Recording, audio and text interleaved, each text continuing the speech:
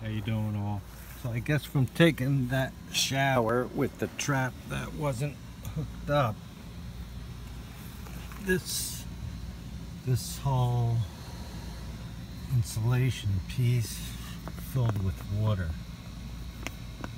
So, because I noticed water dripping down, so I made a little hole here to try to get the water out.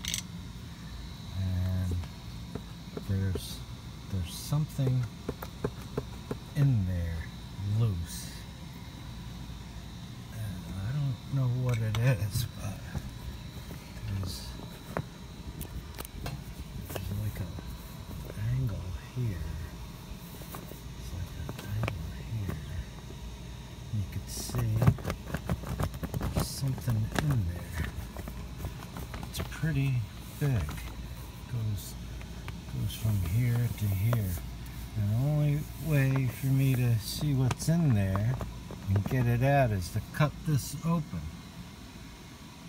Um, I'm not going to do that right now. This this water's pretty stinky. You see?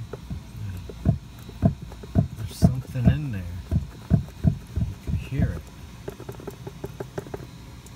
What could that be? And if I cut this open to get it out, how am I gonna fix that? Still feels like either the insulation's heavy in here, maybe all the water's out, coming out. That's my story. So it seems what's in this hole here is a piece of wood. Piece of wood. Try to get the edge here. See a piece of wood there. And the, the edges look rounded on it. See the edges rounded? It's a big piece of wood in here. Is that, I guess when they put this up, that's where Coachmen's putting their garbage. Just why get rid of it at their site? Stick it in a camper. No owner will never find it, right? So this is terrible. But I guess I'll let that dry out and silicone that up. I don't know if get that piece of wood out.